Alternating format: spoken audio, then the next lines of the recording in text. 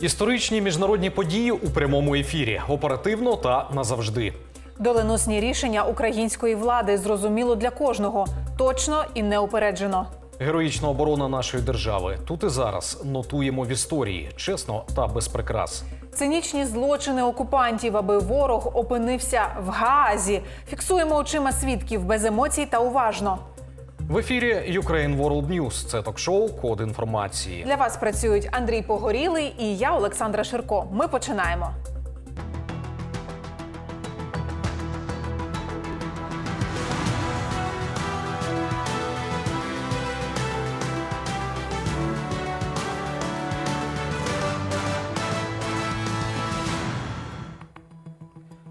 Посилення захисту від ворога, наслідки атак агресора та зміни у військовому керівництві. Про що ще говорив Володимир Зеленський у щовечірньому зверненні? Почуємо. почав цей день із чергових призначень, потім доповіді щодо ситуації на фронті від наших військових, а також звіти від МВС, ДСНС, регіональних влад щодо роботи нашої ППО протидії російським ударам, ліквідації наслідків, посиленню наших спроможностей.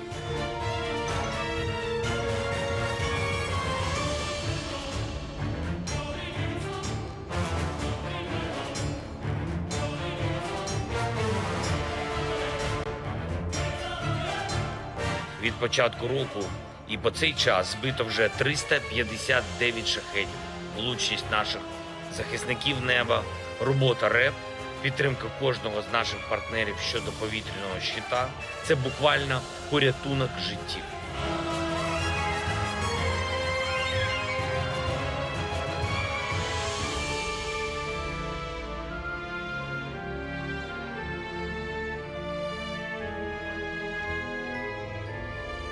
Хочу сьогодні особливо відзначити колектив ДСНС України, кожного і кожного, хто працює на місцях влучань, ліквідує пожежі, розбирає завали. Харків та область, Запоріжжя та область, Херсонщина, Миколаївщина, Сумщина, Чернігівщина. В кожній нашій громаді завжди є допомога, завжди є ті, хто рятує після російських обстрілів.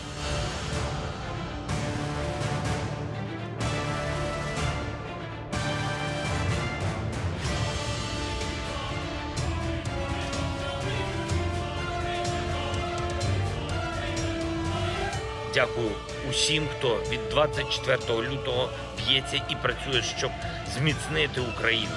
Дякую усім, хто в Україні та разом з Україною. Слава Україні! Тим часом у Києві гості до столиці завітали представники міжнародного валютного фонду. В центрі обговорень цілі економічної політики України. Також представники МВФ зауважують, хочуть зосередитися на викликах, що стоять перед нашою країною. Зокрема, обговорять пріоритети для підвищення потенціалу України. А гість нашої студії Андрій Новак, голова комітету економістів України. Вітаємо вас, Так, пане вітаю, Андрію. вітаю. Е, От е, е, давайте розпочнемо саме дійсно з міжнародного валютного фонду зі співпраці України з цією організацією.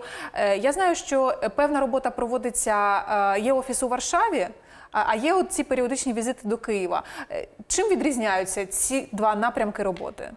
Ну, офіс в Варшаві, очевидно, е, працює на постійній основі е, моніторингу економічної фінансової ситуації е, в Україні. І якщо є підозра на певні проблеми, тоді група Міжнародного валютного фонду приїжджає в Україну. Фактично, основний документ, за яким слідкує МВФ, це бюджет країни, державний бюджет України.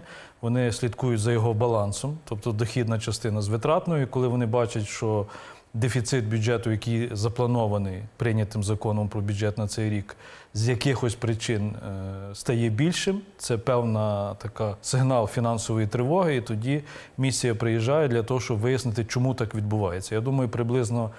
е, Таке відбувається зараз. Вони приїхали, тому що за підсумками січня побачили, напевно, що е, витрати державного бюджету більші і дефіцит бюджету більший, ніж це передбачено прийнятим законом про бюджет.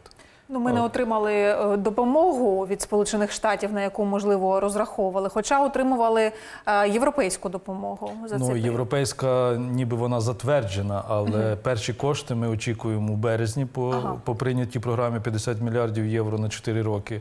Ну так прогнозується, що перший транш буде в березні. Тому не дивно, що після процедурної відстрочки європейських грошей, процедурної відстрочки американських грошей. Е, У бюджету України дійсно можуть бути певні проблеми. Дефіцит може бути трохи більший ніж передбачений законом про бюджет. Зрозуміло.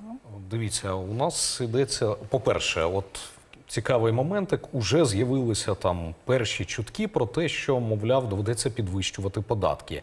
Е, Через те, що за великі дефіцити треба е, з цим щось робити. Е, І з іншого боку, в умовах війни це якби логічний крок. Е, З іншого боку, ще один такий цікавий момент. Почали говорити західні партнери про посилення економіки України, зробити Україну, скажімо, такою, щоб вона могла протистояти Росії ледь не самостійно. Е, Тобто зараз МВФ і всі інші організації дійсно будуть вкладатись в структурні певні якісь реформи в економіці, економіці України для того, щоб е, ми стали стійкими самі по собі. Ну, по-перше, відразу, відразу хочу сказати, що гроші МВФ це не є інвестиційні гроші, це є гроші покриття дефіциту бюджету, тобто для уряду з одного боку, а з іншого боку, це гроші на поповнення золотовалютних резервів Національного банку. Тобто приблизно в пропорціях в мирний час, в пропорціях 50 на 50, половина коштів МВФ іде уряду на дефіцит бюджету, половина Національному банку на золотовалютні резерви.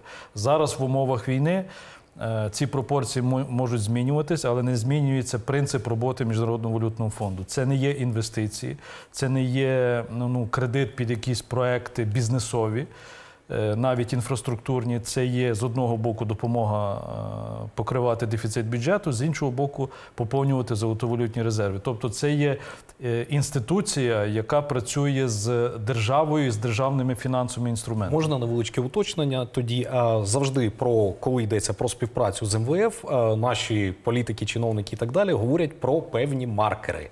Тобто МВФ можливо сам не вкладає, але певний дороговказ розробляє з урядом, куди рухатись. Ну, е, Їх ще називають структурні маяки. Ну, в нас загальний мер, маркер з МВФ уже є, тому що є затверджена нова програма знову ж таки на 4 роки. До речі, це цікаво, якщо буде час, е, акцентуємо на цьому. Е, У нас є діюча програма з МВФ нова на 4 роки на 16 мільярдів е, доларів. Оце є той маркер, що Україна не є наодинці зі своїми проблемами, в тому числі з протистояння агресору е, Росії, і що з Україною треба і можна далі працювати. Саме тому після оцієї затвердженої програми з МВФ була затверджена трошки процедурно затягнута, але затверджена програма з ЄС на 50 мільярдів євро. І не сумнівайтесь, що буде реалізована програма Сполученими Штатами на 61 мільярд доларів, але там більша частина це військова допомога. Американська програма це більше ніж 80% це суто військова допомога. В той же час європейська навпаки. Більше 80% це фінансова допомога, а не військова. І таким чином є певний баланс різних е, міжнародних інституцій, урядів. Хтось дає більше військової допомоги Україні, хто має на це можливість, а хтось Україні дає більше саме фінансової допомоги. Разом Україна і в забезпеченні зброєю, і в забезпеченні фінансами разом е, це дозволяє Україні вистояти. І от ви закинули, що МВФ хоче досягнути, щоб Україна самостійно. Ну я вам скажу, що як мінімум до завершення війни це просто нереально, це ілюзія. Що ми зараз е, отримаємо якийсь небувалий економічний ріст. Під час війни це неможливо. Зараз нам потрібна підтримка. А враховуючи те, що майже щодня чи майже щоночі Україна обстрілюється російськими ракетами, шахедами практично по всій своїй території, говорить про те, що на території України зараз немає абсолютно безпечного місця якоїсь області чи міста. Все, все обстрілюється тільки з різною там інтенсивністю. В таких умовах говорити про те, що в нас буде інвестиційний бум, що в нас будуть відкриватись нові заводи і фабрики. Об'єктивно не можна зараз про це говорити, тому що це є фактори фізичної небезпеки. Тут вже ми не говоримо за фінансову, за бюджетну. Тут фактор просто навіть фізичної небезпеки. Але підтримувати українську е, економіку продовжувати робити те, що робилося, релокацію, тобто е, зміна місцезнаходження підприємств з е, небезпечних зон більш відносно безпечні, як правило, це Західна Україна і Центральна Україна. Цей процес триває вже. е, Біля двох тисяч підприємств е, вже або досягнули релокації, або в процесі релокації. Це насправді дуже потрібна і правильна програма. Але знову ж таки розраховувати, що зараз у нас буде інвестиційний бум, економічний бум е, під час війни, активної фази масштабної війни, ну на це об'єктивно не можна розраховувати. Але е, і програма з МВФ, і прийнята програма, затверджена з Європейським Союзом, і е, так само е, програма з Сполученими Штатами Америки, все це говорить про те, що е, Україну дійсно підтримують за принципом стільки, скільки треба. І в озброєнні, і в фінансах. Нам би хотілося швидше, нам би хотілося масштабніше, але уявіть собі, що ми би дійсно залишились наодинці. Ну, протистояти в кілька десятків разів перевагаючому е, ворогу по всіх напрямках абсолютно ну, було ну, практично нереально.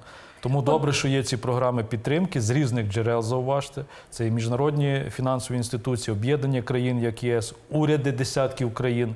Всі, до речі, збільшили е, допомогу Україні. І Норвегія, і Данія, і ті ж Сполучені Штати Америки, і Канада.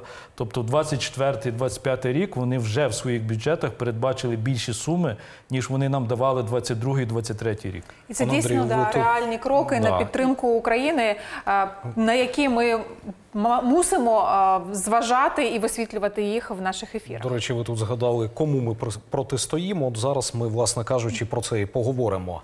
Росіяни сконструювали на Донеччині 30-кілометровий цар-поїзд. Лінія з понад двох тисяч вагонів різного типу простягнулась від Оленівки до Волновахи. Специфічна інженерна споруда покликана ймовірно обороняти загарбників від українських наступів. Припускають аналітики Інституту вивчення війни та спільноти DeepState.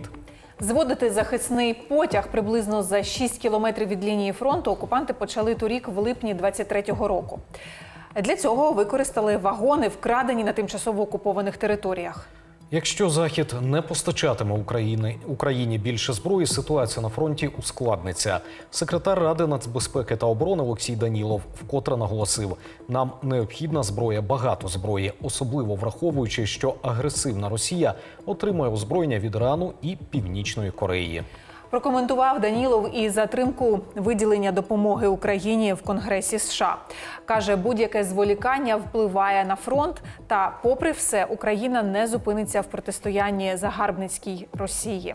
Зараз із нами на зв'язку Олексій Гетьман, військовий оглядач, учасник російсько-української війни. Пане Олексію, вітаємо. Доброго дня. Пане Олексію, е, скажіть, будь ласка, ось е, зараз всі говорять про цей 30-кілометровий потяг, який знайшли, який е, росіяни встановили. Скажіть, будь ласка, чи дійсно він може якось заважати наступу там збройних сил України? Чи навіщо взагалі такі споруди? Ну, це, це удосконалені зуб, зуби дракона, мені здається. Так, він дійсно буде заважати перетинати цю лінію важкою технікою. І що вони там, е, які вибухівку там поклали під ці вагони, це можна тільки припускати.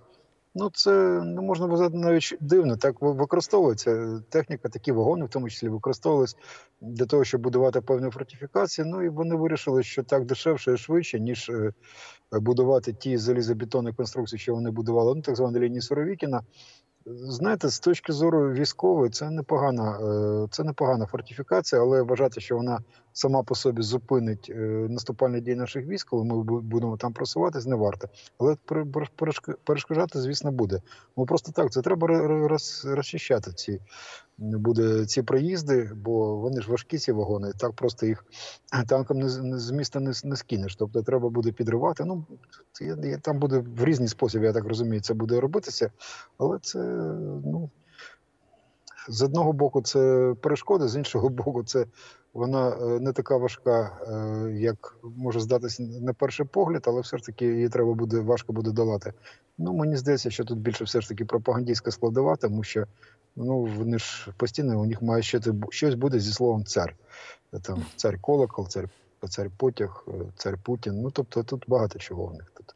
Я думаю, що це ну щось не з головою. Ну це таке.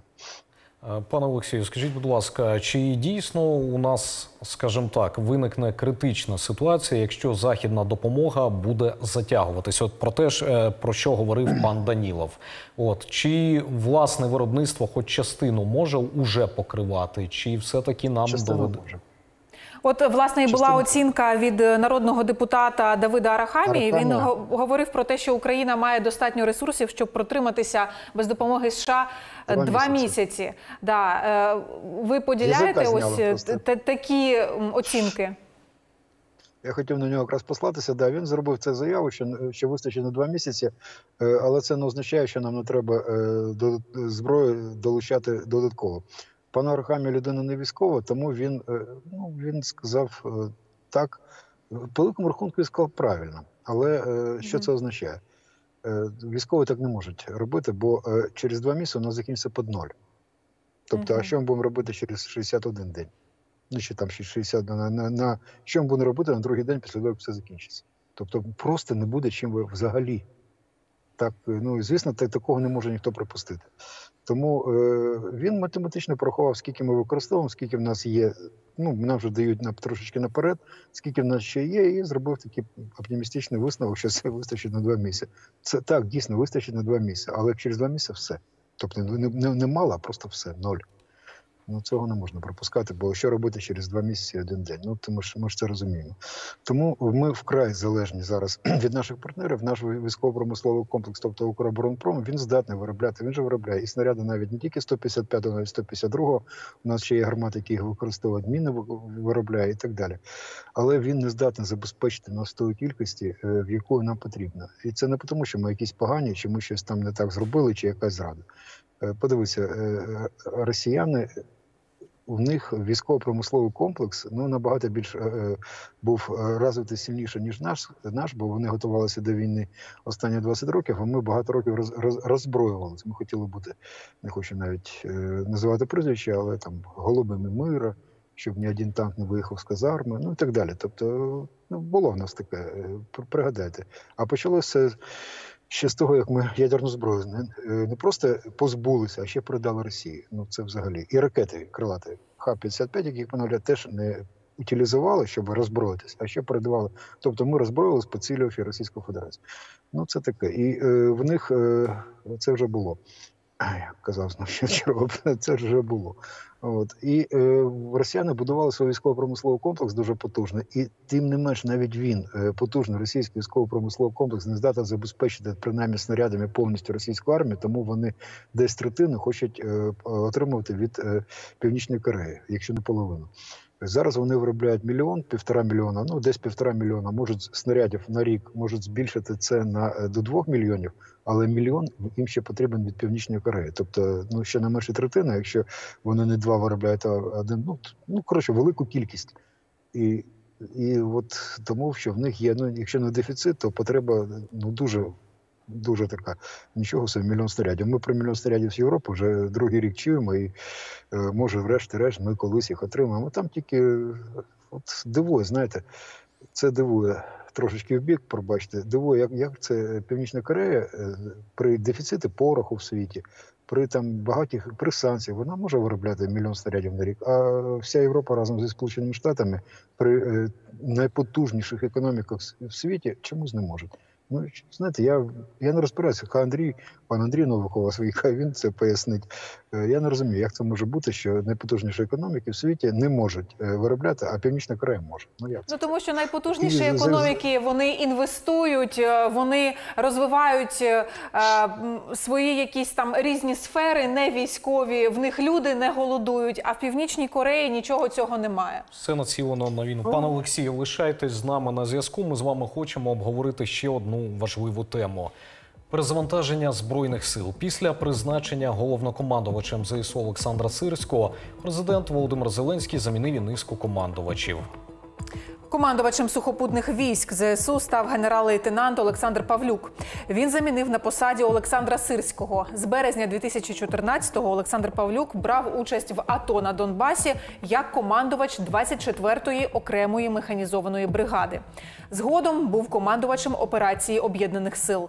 У перші тижні повномасштабного вторгнення РФ керував обороною східних регіонів. Тоді ж отримав звання Героя України.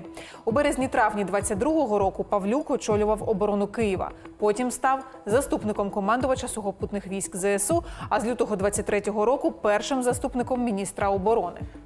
Командувачем об'єднаних сил ЗСУ призначили генерал-лейтенанта Юрія Содоля. Він замінив на цій посаді Сергія Наєва. Юрій Содоль, як і інші військові в оновленому керівництві збройних сил, обороняв країну від окупантів з 2014-го. Його бригада була в найгарячіших точках. Брала участь у боях за Рубіжне, штурмі Ямполя, обороні Донецького аеропорту. Прикривали вихід українських сил із Дебальцевого. У 2015-му Содоля призначили першим заступником командувача десантно-штурмових військ. З 2018 по 2024 генерал командував морською піхотою. Новим командувачем сил територіальної оборони ЗСУ став Ігор Плахута. На посаді замінив Анатолія Бергилевича, якого призначили начальником генштабу. Генерал-майор Ігор Плахута був командиром 169-го навчального центру збройних сил України. З 2014 року він обійняв посаду начальника південного територіального командування внутрішніх військ МВС. Плахута також був заступником командира оперативно-стратегічного управління військ Хортиця. Новим командувачем десантно-штурмових сил ЗСУ призначили бригадного генерала Ігоря Скибюка. Він замінив на цій посаді Максима Миргородського. Ігор Скибюк брав участь в АТО і ООС на сході України. Після 24 лютого е, керував підрозділами бригади під час пошуково-ударних дій у напрямку Балаклії, Куп'янська та Ізюма. Від 2023-го був начальником штабу, заступником командувача десантно-штурмових військ ЗСУ. Пане Олексію, е, от просто е, як взагалі ви оцінюєте, по-перше, зміни в командуванні Збройних сил України? Е, По-друге, вчасність таких дій. І от третій момент, власне кажучи, що відбувається з офіцерами, які звільнені? Власне кажучи, у нас є купа, скажімо так, генералів, які ну просто мегамасштаба, які зараз опиняються в такій трохи невизначеній ситуації. Наскільки це корисно відбувається на обороноздатності? Ну, ви знаєте, питань до новітніх, е, до новітніх призначених людей е, майже ні до кого немає. Ну, давайте будемо відвертими. Питання є до плахути. Цю людину е, пов'язують з тими військами, внутрішніми військами, які е, вчинили опір е, протестувальникам під час революції гідності на Майдані. Тому тут є питання у людей, є питання у, людей з територіальної оборони, бо там багато майданівців. Але я впевнений, що це е, ну, або якось налагодиться, або ну, якісь будуть.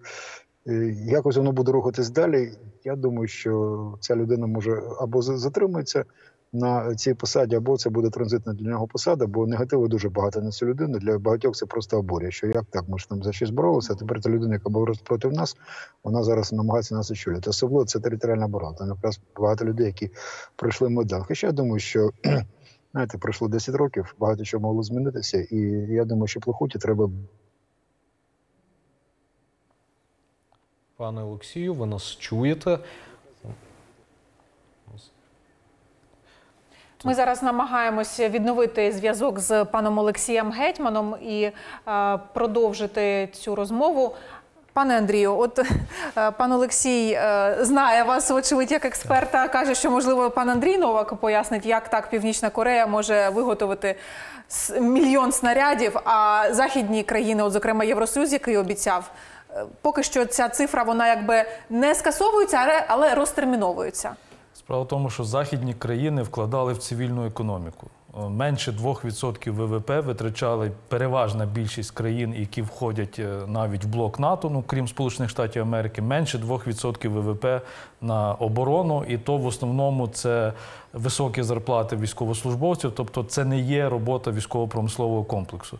Якщо ви навіть подивитесь е, ем, е, термін е, чи час, з якого ми отримуємо е, озброєння, особливо важку техніку, то ви побачите, що це виробництво в кращому випадку 90-х років, а інколи 80-х років. Тобто техніки з 2000-х років західної у нас майже немає. Ну дуже мало. Це говорить про що? Що вони вкладали переважно в цивільну економіку. Натомість Північна Корея.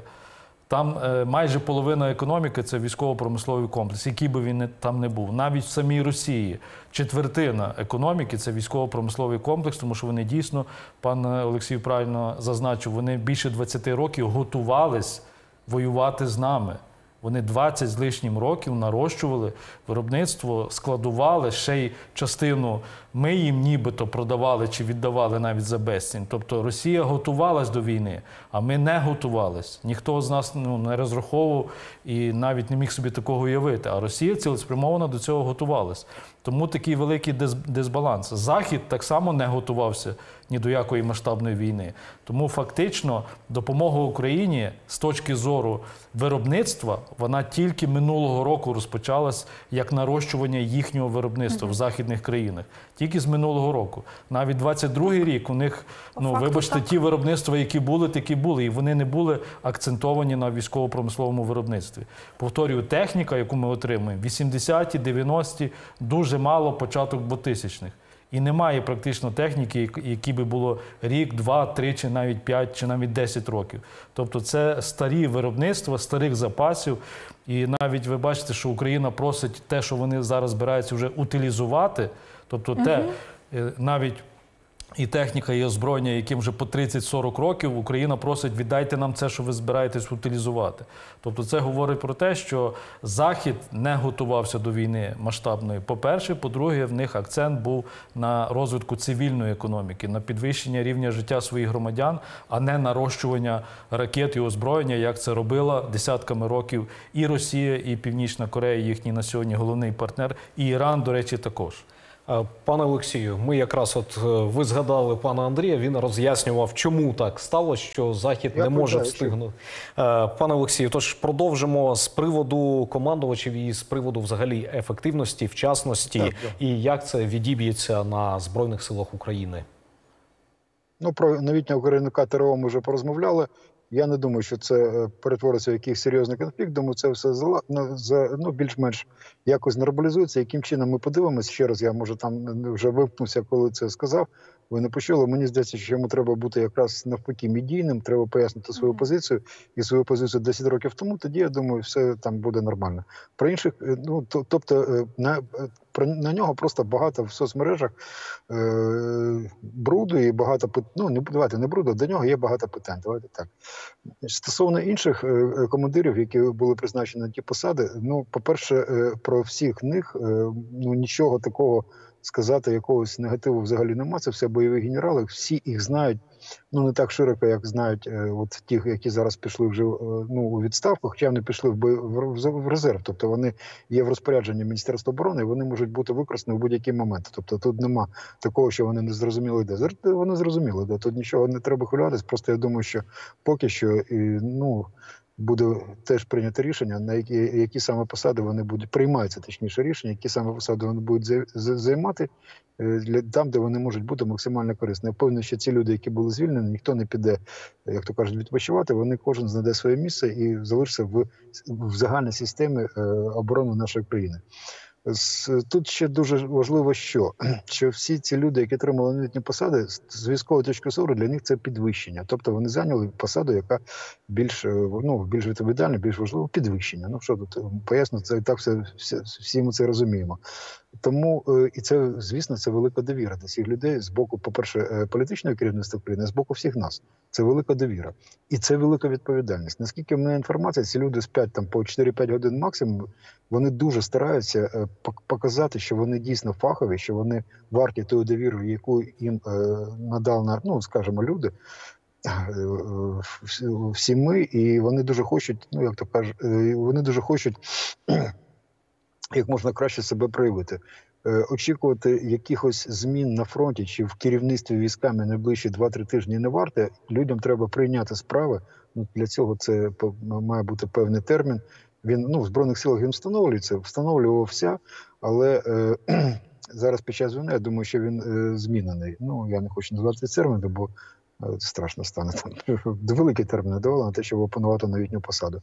Не, не, не давали догани, не взагалі не, не, не чіпляли. Ну, з приводу функціоналу, не з приводу там загальної військової дисципліни. Ладно, скажу, це півроку було. Зараз я думаю, такого, такого часу немає.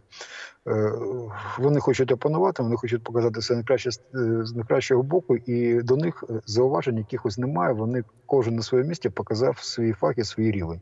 Тому що нам залишається, нам е, залишається з повагою відносити до тих людей, які пішли. До них, до речі, теж е, претензій немає. Є питання, як їх звільняли. Ну це неправильно, коли що людина дознається про своє звільнення через засоб масової інформації. Ну це ну це якось виглядає не дуже серйозно, чесно, не, не дуже. Е, але всі ці люди до них зауважень якихось принципових по їхніх по їхньому фаху немає. Ми їх, е, ми їх поважаємо. Ми сподіваємося, що вони займуть своє місце в загальній обороні. А новим людям ми хочемо всі побажати, щоб їм вдалося, і вони дуже хочуть, щоб їм вдалося. Вони слухайте, вони будуть дуже старатися, тому що їм треба показати, що вони що вони дійсно гідні того міста, яке вони зайняли. Ну ми маємо їх підтримати. Не треба не в будь-якому випадку не треба протиставити е, людей, яких які пішли, скажімо, е, ну не на пенсію, а пішли в запас тимчасово з тими новітніми людьми, які опанували ці посади. Про- Проти ну не може тут між їх не, не можна не порів, ну, порівняти. Ми будемо порівнювати по якості роботи, а протиставити ну борони Боже, це це неприпустимо. Це точно, що нам під час війни не треба. Після війни розберемо, чи це треба було, чи не треба. Хоча чому після війни? І під час війни ми теж побачимо. Якщо будуть успіхи на полі бою, якщо е, новій команді вдасться зробити щось, е, ну таке, що, що просування, ну щоб вийти з стагнації, як кажуть наше політичне керівництво, ну тоді, значить, е, це ця. Ну, будь-яка зміна, знаєте, це все ж таки ризик. Це в будь-якому будь-якому випадку, випадку під час війни це ризик. Якщо піде на е, буде від вийдемо із стагнації в бік наступаючих дій, відходу, то тоді цей ризик був виправданий. Якщо нічого не зміниться або борони Боже погірше, значить це було ризик невиправданий. Треба буде щось, е, щось знову робити. Ну ми поки що всі віримо і всі бажаємо, щоб цей ризик був виправданий, і ми всі будемо допомагати. І цим людям, і морально, давайте їх морально підтримати. Вони зараз слухайте, вони дуже цього потребують. Дуже. Вони нервують, ну в гарному смислі вони нервують, вони хочуть показати, що вони здатні. Повірте, це дуже хвилює людину. Пане Олексію, дякуємо вам за детальні роз'яснення. Нагадаю нашим глядачам, що з нами був Олексій Гетьман, військовий оглядач, учасник російсько-української війни. А що ж там в Європі? Європу охопили протести фермерів. З початку року на вулиці вийшли аграрії понад 10 країн. Причини у них різні, та здебільшого невдоволені зростанням виробничих витрат на електроенергію, добрива чи транспорт. До того ж, деякі уряди вжили заходів, щоб знизити ціни на продукти. Обурення фермерів викликала і екологічна стратегія Євросоюзу. Щоб досягти кліматичної нейтральності, аграрії мають використовувати менше пестицидів і добрив, звільнити частину землі для несільськогосподарського використання чи перевести під вирощування органічної продукції. Землероби вважають, що такі цілі й методи їх досягнення нереалістичні. Ще одна проблема це дешевий імпорт. Здебільшого це стосується країн Центральної та Східної Європи. Після вторгнення РФ Україну Євросоюз скасував квоти та мита на українську сільгосппродукцію. Це на думку європейських фермерів знизило ціни та підвищило конкуренцію. Саме з цієї причини на протест вийшли польські фермери. Акції розпочалися минулої п'ятниці і триватимуть 30 днів. Сьогодні блокада розширилась ще на два пункти пропуску Зосін та Долгобучев. Там протестувальники планують пропускати по 2-3 вантажівки за годину. Повідомили українські прикордонники. Напередодні сталося нечуване. Польські фермери висипали зерно з українських вантажівок на кордоні. Інцидент трапився неподалік пункту Ягодин Дорогуськ. Три зерновози з України в'їхали в Польщу після митних процедур. Та протестувальники не пропустили транспорт і висипали збіжжя просто на дорогу. От я коли дивилась це відео в інтернеті, то е, в мене ось знаєте, як щось так затисло всередині. Ну, по-перше, мені е, шкода наше зерно, мені шкода наших водіїв, шкода компанії, які понесли збитки. Пане Андрію, які у вас емоції викликало оце відео? Ну, це відео не може позитивних емоцій жодного українця викликати, але я би поставив під велике запитання, чи це дійсно польські фермери. Тому що, тому що людина, яка хоча б щось виростила сама, вона ніколи не буде знищувати зерно. Ніколи. Просто рука не підніметься. Навіть е, з будь-яких міркувань, тим більше з міркувань, таких як ціни, там, економіка і так далі. Це- Цікавий аспект. Я про це, наприклад, навіть не подумала, тому що, можливо, я ніколи я- не вирощувала зерно. Так, я тому раджу польській поліції е, знайти справжній слід цих так званих протестів, тому що тут працює, звичайно, що економічне підґрунтя є, але самі протести, їхній характер, постійне повторення, агресивність. От е, як з приклад е, з зерном, там не тільки зерно, там і шини вже висипали, і підпалювали. Тобто агресивність, так, це абсолютно вже не економіка. Це суто політичні явища, які звідки підживлюються, організовуються, і ми можемо здогадатись звідки. Е, Пане Андрію, тут іще один такий цікавий момент. Вони протестують нібито проти європейських правил, при тому перекриваючи кордон нам, власне кажучи. Тобто не поїхали в Брюссель, ну зібрались там зі своїми тракторами, як румуни робили, і вони в Бухарест поїхали. Чому вони не їдуть в Брюссель? Чому вони зараз от знайшли такий спосіб? Ми країна, яка в стані війни. У нас е, проблеми з економікою. Тобто вони це все роблять. І ще один момент. А, йдеться про вільний ринок і конкуренцію. Ну не витримуєш конкуренції, вибач. В Європі, здається, так працює. Власне кажучи, вони з німцями так вчинили. Ну, ви абсолютно правильно акцентуєте. Справа в тому, що якби це були дійсно економічні протести, якби це вони були проти якихось загальних європейських правил, під які підписала сама Польща, як член Європейського Союзу і член НАТО також. Е, То напевно е, місце застосування протестів має бути навколо органів Європейського Союзу, а не з кордоном з Україною. Правда, це підтверджує е, те, що це не є економічні протести, це суто організоване ззовні. Скоріше за все, ми розуміємо, звідки з того самого джерела, звідки йде агресія проти України, організоване для того, щоб створювати додаткові проблеми і економічні втрати Україні. Хоча в самій Польщі вже порахували, що вони економічно втрачають від такого блокування не менше, ніж Україна. І це підтверджують закони економіки. Якщо ви обмежуєте якусь діяльність, втрачають обидві сторони. Нема такого явища в економіці, що втрачала тільки одна сторона. Завжди інша сторона також втрачає.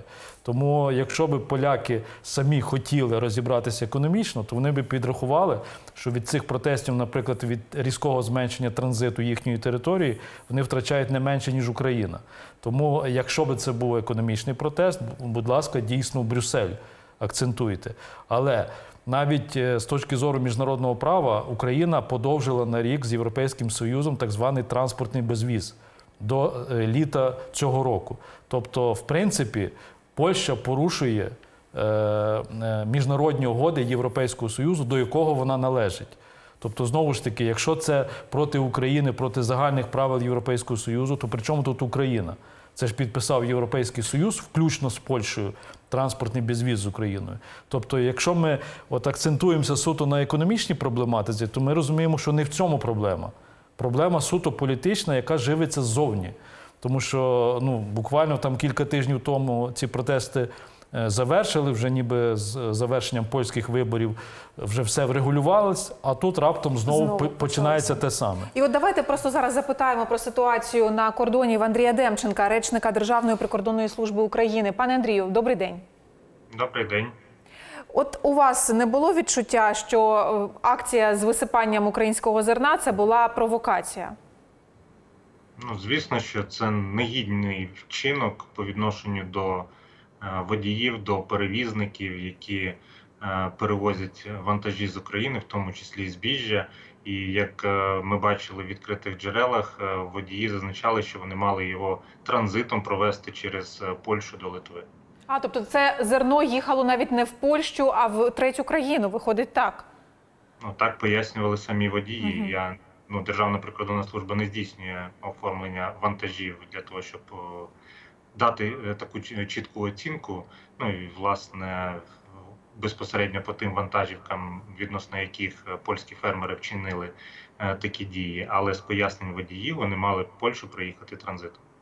Пане Андрію, скажіть, будь ласка, яка нині зараз ситуація на кордонах, Е, зокрема і на пунктах пропуску? Кого пропускають, кого не пропускають? Які пункти пропуску можливо заблоковані або де ускладнений рух перетин кордону вантажним транспортом, зокрема, і просто е, людьми? І чи збираються вже великі черги, наприклад, е, щоб в'їхати в Польщу з нашого боку, і навпаки? Ну, власне, на даний момент е, блокування відбувається по п'яти напрямкам. Е, Ще до 10-ї години ранку заблокованими було лише два: це напрямки пунктів пропуску Ягодин і Раваруська. І станом на ранок сьогодні на цих е, двох напрямках сукупно на території Польщі в бік України очікувало в чергах десь е, 1050 вантажних транспортних засобів, 650 навпроти Ягодина і 400 навпроти Раверуської. Але вже після 10-ї години е, польські фермери е, відновили своє блокування по напрямку пункту пропуску Шегині. Е, Нагадаю, що 10 числа вони припинили е, своє блокування. Ну а сьогодні, після 10-ї, е, поновили е, свої дії. Е, На ранок е, десь е, черга складала е, в бік України на території Польщі 200 вантажних транспортних засобів. Ну і власне також після 10-ї години польські фермери, фермери розширили е, географію своїх дій ще на два на два напрямки: це пункти пропуску Устилуг і Угринів. Е, На щастя, е, там черг з вантажівок е, не було е, станом на ранок. Ну але звісно, що блокування руху воно в подальшому безумовно призведе до того, що черга тільки збільшуватиметься, а пропускна можливість ем, пунктів пропуску зменшиться через те, що е, учасники цієї акції е, не пропускають вантажівки.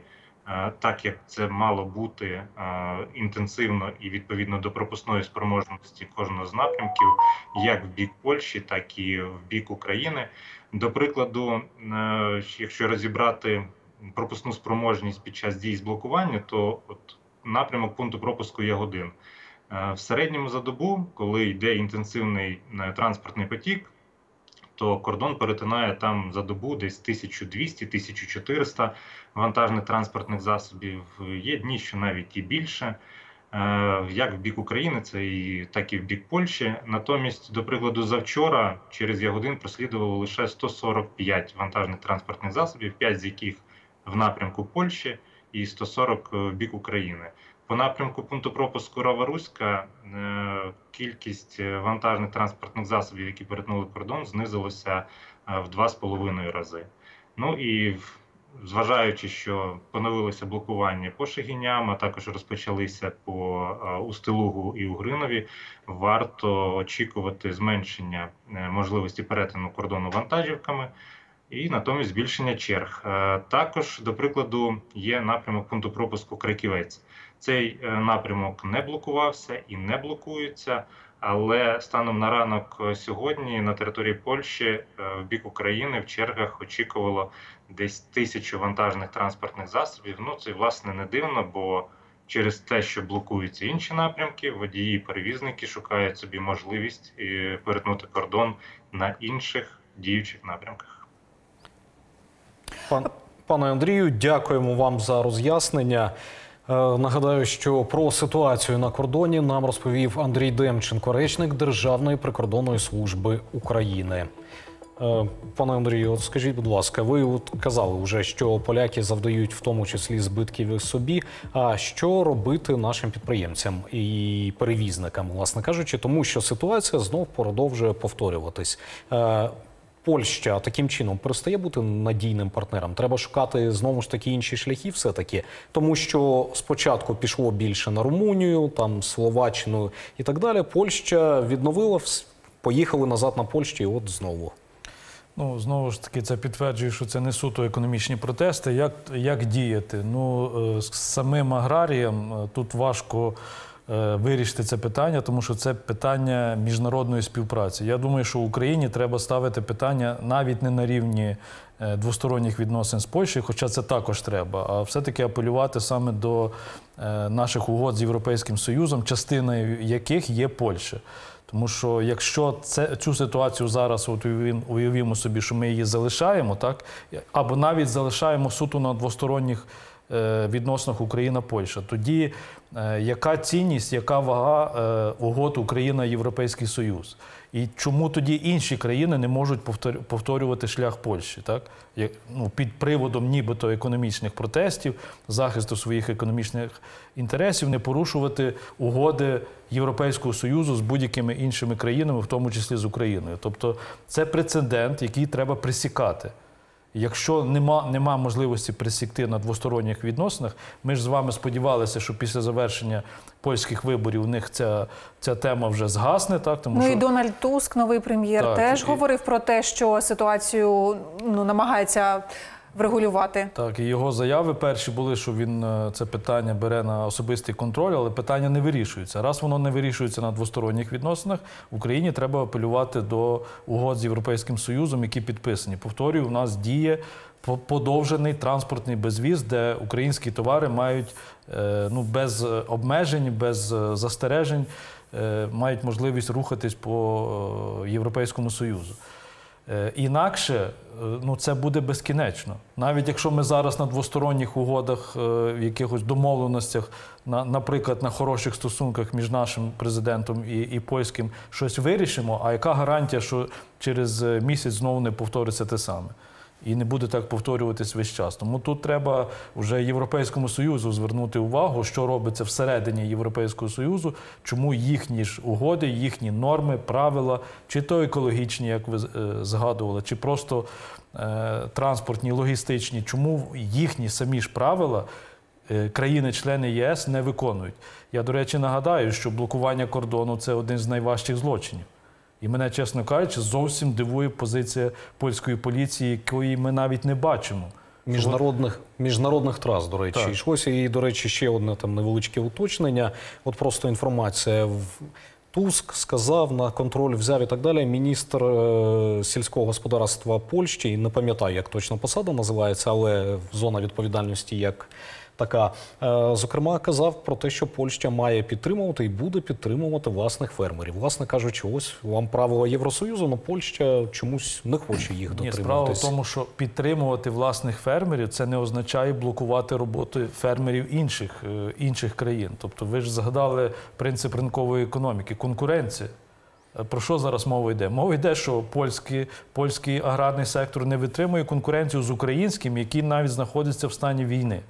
Якщо ми подивимося кадри, в яких умовах наші аграрії зараз обробляють е, землю і збирають врожай у прифронтових територіях, та скільки вже підірвалось тракторів, скільки е, полів е, російська армія зумисно підпалювала, і в таких умовах ми е, обробляємо землю і збираємо урожай. Ну е, я думаю, що ці кадри вони загальнодоступні через інтернет. Їх бачили і- поляки, і польські фермери. Тому е, ну, загальний принцип конкуренції він діє. І якщо вже не в Європейському Союзі, сама цивілізована частина, як ми сприймаємо е, на планеті Земля, якщо вже тут не працює принцип конкуренції, більше того, порушуються міжнародні угоди. Ну я думаю, що тут серйозно треба е, більш активно працювати, перш за все, українській дипломатії, тому що є е, права і захист економічних інтересів польських фермерів, але є такі самі права і захист економічних інтересів наших фермерів і нашого аграрного сектору. І є підписані угоди міжнародні. Тобто, якщо ми не працюємо за принципом верховенства права, ну тоді вся ця конструкція наша буде рушитись і не допоможуть гарні слова підтримки.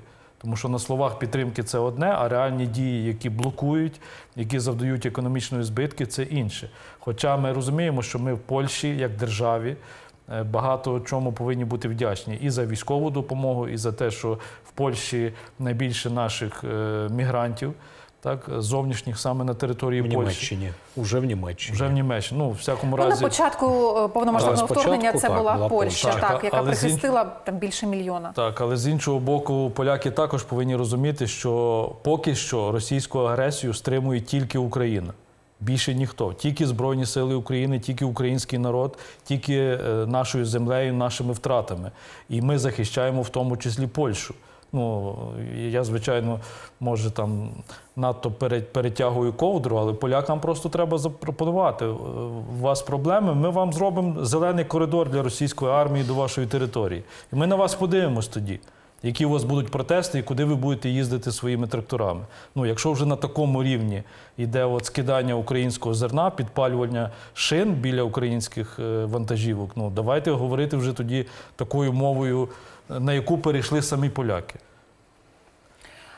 От е, поки наші українські фермери несуть збитки, в тому числі через те, що затримуються вантажі на кордоні, в Україні е, є е, деякі позитивні зрушення, наприклад, на ринку праці. От він почав оживати. Фахівці відзначають, що середня заробітна плата росте, а резюме більше. Про це свідчать дані досліджень порталу Work.ua. Після традиційного передноворічного падіння конкуренція за вакансії відчутно зросла. Але кількість пропозицій роботи в січні була нижчою ніж в грудні. Утім, за словами представників порталу, обидві тенденції нормальні сезонні явища. Якщо порівнювати з показниками до повномасштабного вторгнення, більшик вдвічі побільшало вакансій на заході країни у Закарпатській, Івано-Франківській, Хмельницькій, Львівській та Вінницькій областях. А от лідерами за кількістю пропозицій роботи незмінно залишаються Київщина, Львівщина та Дніпропетровщина. Наша колега Крістіна Мосічук поспілкувалася з українцями і дізналася, скільки вони б хотіли заробляти на місяць. Е, Ми почуємо думки українців е, згодом. А от е, пане Андрію, за вашою оцінкою, яка зараз оптимальна зарплата? Ну я розумію, що можливо Київ і е, регіони порівнювати трошки недоцільно, але якщо говорити в середньому по Україні. І Якщо ви запитуєте, яка оптимальна зарплата, то треба порівнювати не регіони, а треба порівнювати думку роботодавця і найманого працівника. І найманий працівник завжди хоче зрозуміло вищої зарплати, а роботодавець хоче платити по кожній своїй позиції е, в своїй компанії якомога менше. Тому тут є баланс. Е, Того, що називається ринок праці, попит і пропозиція, знову ж таки, основний закон економіки по спеціальностях в кожному регіоні. Ми розуміємо, що внутрішня міграція дуже сильно вплинула на оцей регіональний зріст, де ви показуєте, що е, Західна Україна там підвищений попит, тому що ми згадували релокація. Відбулась, по-перше, по-друге, природня е, міграція внутрішня подалі від зони бойових дій. Перш за все, центральна і західна Україна, і тому там е, цілком логічно, що там е, попит набагато вищий. Але треба враховувати умови. Кожна людина приймає рішення, за яку зарплату вона готова працювати, за яку не готова, і, наприклад, просто отримувати допомогу, якщо е, люди е, зафіксувались, зареєструвались вимушеними переселенцями. Там є допомога на дорослих, на дітей. Вона мізерна, вона маленька, але за неї ну, можна існувати, скажімо так. І тут уже баланс між тим, різниця допомоги різної і державою, і там родичів, знайомих, так і е, офіційна зарплата, на яку ти маєш кожен день, робочий день відпрацьовувати. Тому тут є завжди баланс е, на ринку. Чому е, підвищують за- зарплати роботодавців? А в них немає зараз виходу інакшого, тому що є дефіцит. Відтік населення. Відтік населення є дефіцит. Нема кому працювати та елементарно. Особливо спеціалістів на, на спеціальності, які вимагають кваліфікації. Є дефіцит, і роботодавці змушені піднімати пропозицію по, по зарплаті. От, власне кажучи, якраз зараз і послухаємо, е, що українці хочуть, які зарплати вони бажають. На місяць? Ну, зараз нам, мабуть, не менше не 30 тисяч, це так, середнє, мені ка- кажуть, тому що ціни дуже зросли, люди повинні отримати більше. Вот. А пенсії от, е, воєннослужащим, які звільнилися, які зараз отак чують, що вони не після, після поранення вони не можуть вже захищати нашу країну, і вони, у них пенсія взагалі 4 тисячі 5 це дуже, дуже погано. Ну, мені з сім'єю, з двома дітьми мінімум 100 тисяч треба. Включаючи орендоване житло, включаючи оплату на харчування, гуртки, е, проїзд, е, одяг і якісна їжа. Ну, для сім'ї із чотирьох людей і плюс оренда житла. Тобто це ч- 100 тисяч гривень на місяць потрібно на, на сім'ю. Якщо працює чоловік і жінка, то достатньо, я думаю, по 50 тисяч, щоб кожен отримував. 30 тисяч доларів. Хочу. А наразі скільки заробляєте? Десь дві, Хотілося б більше. так? звісно. А чому на що б ви витратили? Ці гроші? Не так. О, у мене багато бажань є. Машина, е, недвіжимость. Ну, українці оптимісти, не дивлячись на те, яка ситуація в країні, тут е, Запросив. схід палає просто. Російська армія суне, наступає на кількох напрямках. А українці все одно не втрачають надію на те, що і нерухомість куплять, і автівку куплять. Життя продовжується. Ну, це власне та різниця, про яку я говорив: е, інтереси роботодавця і найманого працівника. От ви запитували, напевно, найманих працівників, навряд чи там серед опитувальних були підприємці. От як ви запитали підприємців, ну як е, інша сторона балансу, ви б почули, скільки підприємці зараз готові е, платити, враховуючи, скільки їм обходиться. Теж е, комунальні послуги, скільки їм обходяться транспортні послуги, затрати, собівартість продукції і скільки вони можуть продавати. Тому що е, треба розуміти, що внутрішній споживчий ринок України за останні декілька років від масштабного вторгнення він значно звузився. По-перше, 6 з лишнім мільйонів українців виїхали за межі України. Це мінус 6 і 2 мільйони споживачів, які купляли товари і послуги на території України. Тепер їх нема на території України. Плюс внутрішня міграція, де люди або втратили роботу повністю, тому що ми розуміємо, що дистанційно далеко не всі можуть працювати і далеко не по всіх професіях. Тобто це ще звуження. Тому е, можливості отримати виручку, дохід у підприємців в рази менший. А затрати всі, собівартість, та ж енергія, електроенергія, газ, а затрати всі зросли. Тому інтерес роботодавця, підприємця і інтерес найманого працівника він завжди прямо протилежний. Тому це не дивно, що є бажання хотіти. Ну, хотіти можна багато, і 30 тисяч доларів і на день, не тільки на місяць. Але є реалії, які, як ви правильно сказали, реалії це воюючої країни на нашій території масштабні воєнні дії. Вони нікуди не ділись і ще, на жаль, найближчим часом нікуди не подінуться. А це прямий вплив і на всі економічні процеси. Абсолютно без винятку. Тому тут е, інакшого варіанту, як шукати баланс інтересу підприємця, роботодавця і найманого працівника, тут просто немає.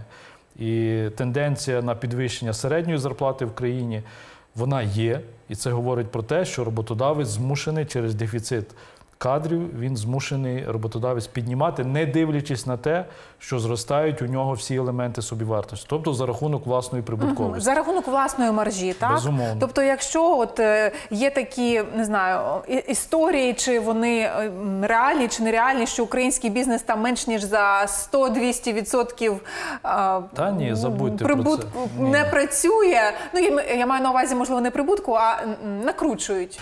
Те, Це- що продають, ці ціни помножують там на 2, на 3, на 4. Тобто Тако- такого вже немає. Такого немає на більшості товарних ринків, товарів і послуг, тому що більшість е, ринків в Україні конкурентні або дуже конкурентні. Ну, наприклад, ринок продуктів харчування дуже конкурентний.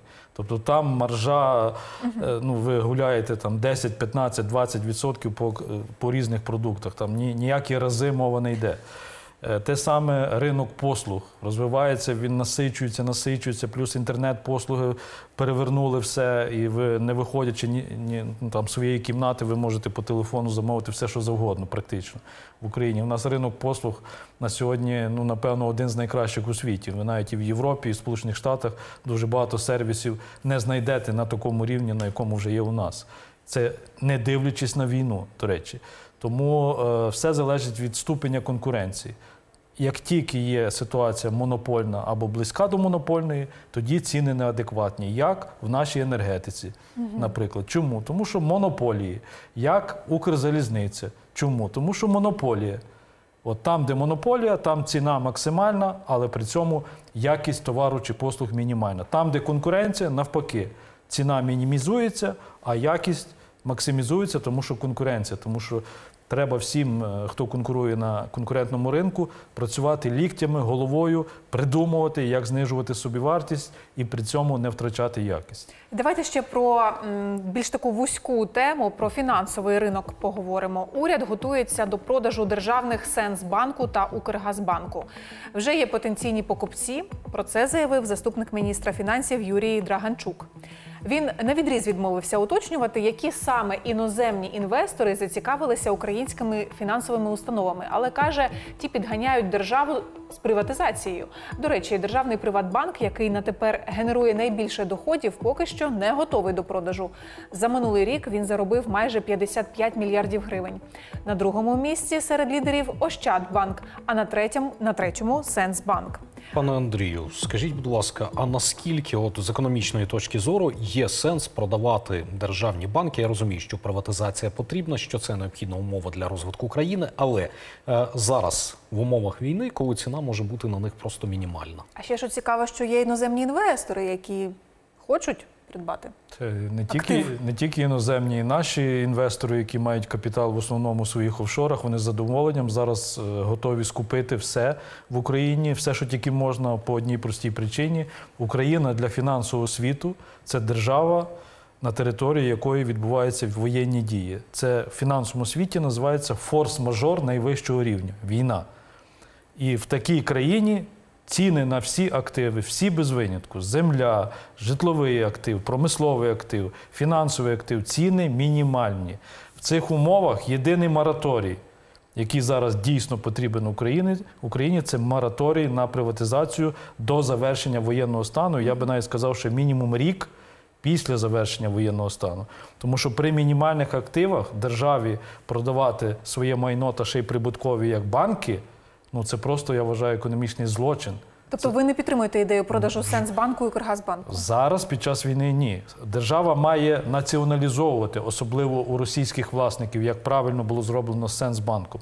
Націоналізовувати так, а виставляти на продаж при мінімальних цінах для чого? Буде вигода на один квартал заплатити пенсії і все, а активи підуть. А куди кому вони підуть? У нас же ж була ситуація. Е, Ви не забувайте, що Росія веде проти України гібридну війну. І ключовий момент економіка. І в нас, е, якщо говорити про банківський сектор, у нас на піку російські банки або банки з російськими власниками чи співвласниками мали 25% нашого внутрішнього банківського ринку. А що таке 25%? Це легко ви можете, наприклад, робити е, девальвацію гривні. Вивести кошти національну грошову одиницю. Ви легко можете спровокувати навіть банкопад, який у нас, на жаль, відбувся. От що значить в структурі власності. Велика частка у нас була російського капіталу. Ще гірша в нас ситуація з російським капіталом був в енергетиці. Так, майже повністю, майже вся українська енергетика була в руках російських власників. Нафтопереробні заводи України. Більшість активів е, якимось дивом попали до російських власників. Все це зараз е, держава, українська держава повинна безоплатно націоналізовувати. Але приватизовувати, тобто виставляти на продаж сьогоднішні державні активи це злочин.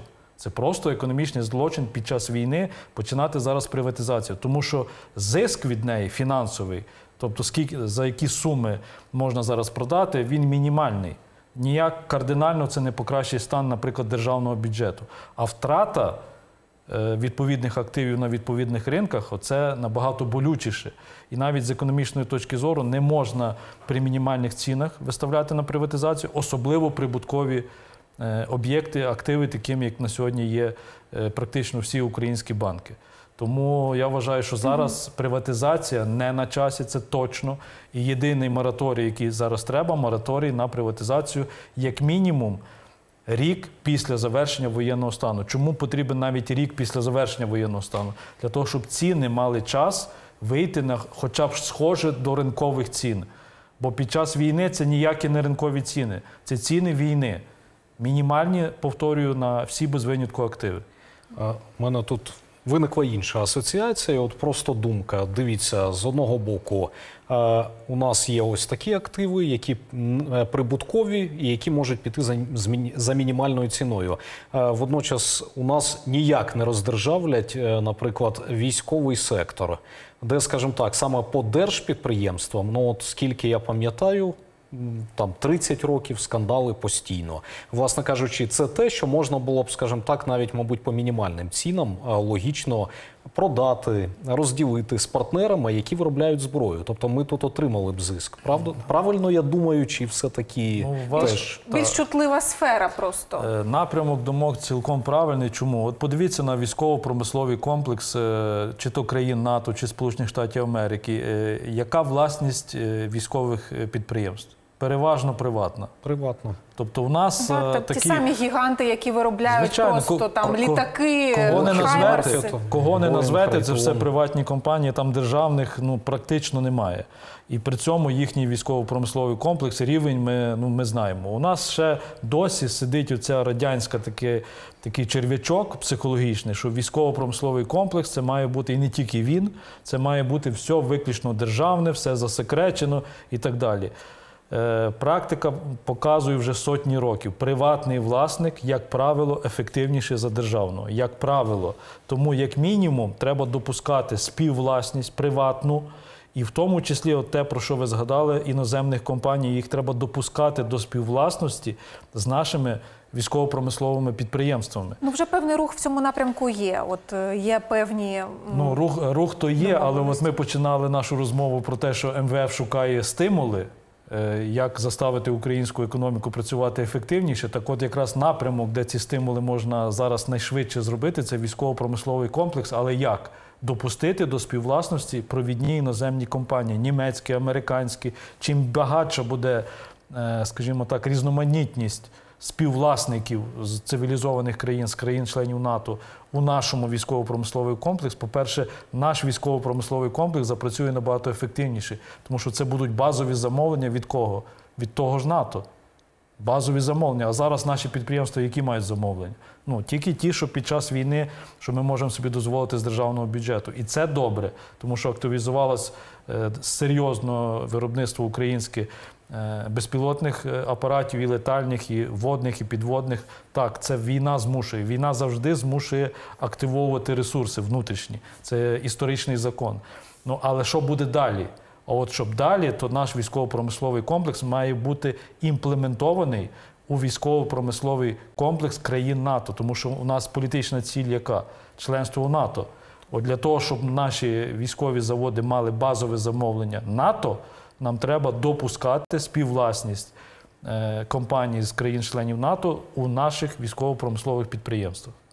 Пане Андрію, спасибі вам за те, що ви сьогодні були разом з нами. Ми з вами зачепили надзвичайно важливі теми. Андрій Новак, голова комітету економістів України, був гостем ток-шоу Код інформації. Дякуємо вам. Дякую. Частина України, яку вважали проросійською, як після повномасштабного вторгнення Росії жителі Бесарабії відчули себе українцями. Торгувати з Росією чи з Європою, як фермери Бесарабії знайшли інші ринки збуту. Та чому росіянам не вдалося розпалити антиукраїнські заворушення в цьому стратегічно важливому регіоні України? Дивіться в огляді закордонної преси о 18.40. Не пропустіть. А ми з вами поки що не прощаємось і зустрінемось вже за кілька хвилин. Будьте разом з нами.